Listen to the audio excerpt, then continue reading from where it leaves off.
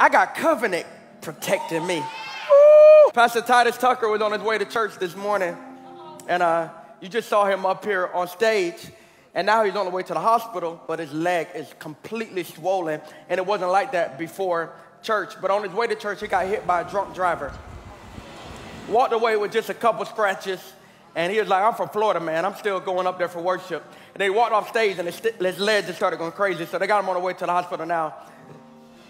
But when we're in the back praying, I said, man, this morning could be a lot different.